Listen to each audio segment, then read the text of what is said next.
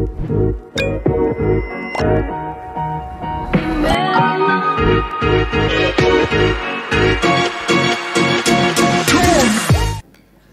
halo, selamat siang semuanya. Uh, perkenalkan nama saya Husni Alhamdani. Saya akan menyampaikan tentang Scalable Jenkins on Kubernetes. Oke, perkenalan dulu. Saya DevOps Engineer di uh, Hong Leong Bank Malaysia. Dan ini sedikit profil saya, ada sertifikasi uh, Kubernetes dan OpenStack, dan ada juga uh, akun LinkedIn. Nah ini saya di 2019 di beberapa talk dan dapat scholarship dari Linux Foundation. Uh, di Jakarta Meetup di bulan Mei, terus ada scholarship di uh, Amsterdam di Helm Summit September kemarin. Kemudian talk di Malaysia tentang uh, microservice with Kubernetes dan Istio. Dan yang di bulan ini adalah scholarship dari uh, Linux Foundation di Kubernetes Conference di North America di bulan ini. Nah, agenda Scalable Jenkins on top of Kubernetes seperti ini kira-kira. Mulai dari Jenkins overview-nya, terus uh, master slave architecture, kemudian cara setup di Kubernetes-nya, dan uh, saya akan coba tunjukin cara ilustrasi uh, scalable Jenkins di Kubernetes. Kemudian ringkasannya. Uh, sebelumnya, uh, apa itu Jenkins? Jenkins adalah automation software, uh, sifatnya open source dan gratis, Fungsi utamanya adalah untuk otomasi life cycle di dalam development suatu software. Mulai dari continuous integration dan dimungkinkan juga di Jenkins untuk continuous delivery, CI/CD.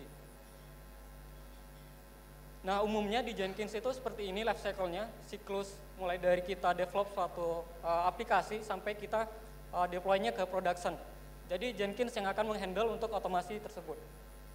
Mulai dari commit, uh, build, test, staging, sampai deploy ke production. Nah, beberapa keuntungan menggunakan Jenkins adalah dia open source dan gratis. Yang kedua adalah base code-nya adalah Java, dimungkinkan untuk support ke semua platform. Dan yang ketiga adalah disupport dengan jumlah plugin yang cukup banyak, mulai dari integration, analisis, testing, dan uh, delivery ke production. Nah, di Jenkins Master Slave Architecture, komponennya seperti ini, ada Jenkins Master, ada Jenkins Slave. Jenkins Master fungsi utamanya adalah untuk di Jenkins, manage uh, sistem antrian di Jenkins. Yang ketiga juga bisa untuk eksekutor job di Jenkins. Kemudian Jenkins Slave, fungsi, utam, fungsi utamanya adalah untuk eksekusi suatu job. Nah, ketika kita punya Jenkins Slave dan tanpa scalable, masalahnya adalah ketika kita punya Jenkins job yang cukup banyak, kita gak bisa menjalankan secara paralel atau secara bersamaan. Dan Masalah yang kedua adalah kita gak bisa scalable. Kapan kita butuh banyak, kapan kita butuh resource yang sedikit. Jadi uh, Jenkins slave-nya akan menyesuaikan dengan uh, load yang ada di Jenkins. Nah di Kubernetes, kalau kita setup-nya di Kubernetes, scalable Jenkins di Kubernetes, yang hanya akan jalan di Kubernetes-nya adalah Jenkins master, tanpa ada Jenkins job yang berjalan. Nah kemudian jika ada Jenkins job seperti ini, beberapa Jenkins job, Jenkins job satu dijalankan, dia akan spin up uh, Jenkins slave untuk menghandle task tersebut. Nah, kemudian jika ada Jenkins job yang kedua, dia akan uh, spin up Jenkins slave yang seterusnya sampai Jenkins job yang kelima. Nah, ketika Jenkins job ini selesai, tasknya semua prosesnya selesai, Jenkins slave-nya akan otomatis diterminate oleh Kubernetes. Jadi yang hanya akan jalan ketika semua prosesnya selesai, uh, Jenkins slave-nya akan diterminate.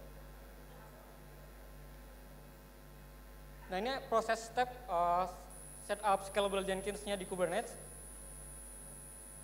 Mulai dari siapin Docker image-nya, create deployment di Kubernetes, kemudian create service di Kubernetes. Setelah itu uh, integrasi antara Kubernetes dan Jenkins-nya.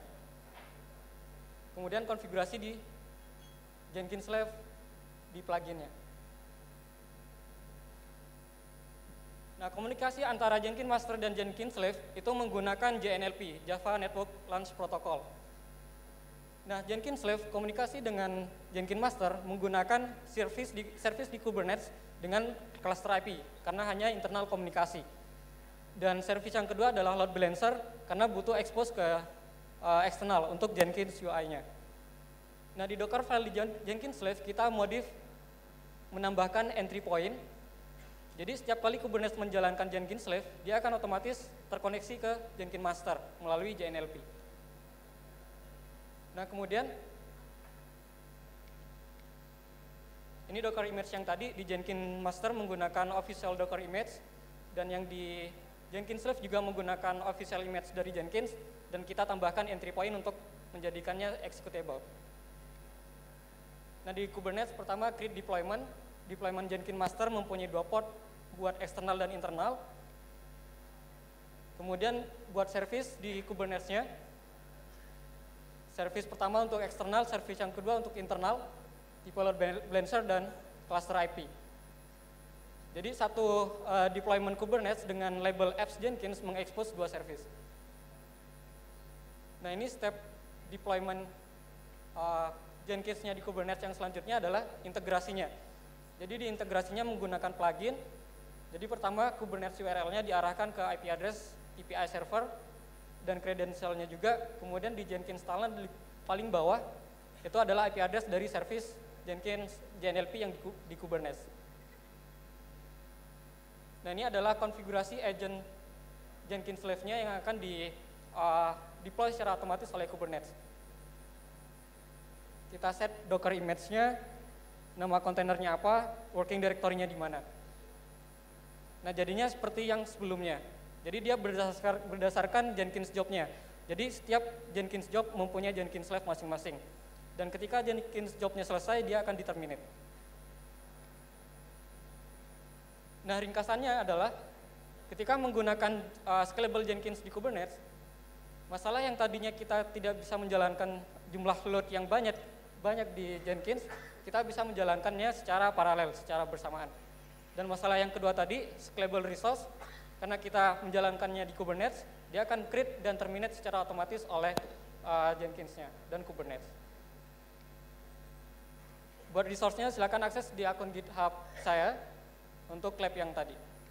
Terima kasih.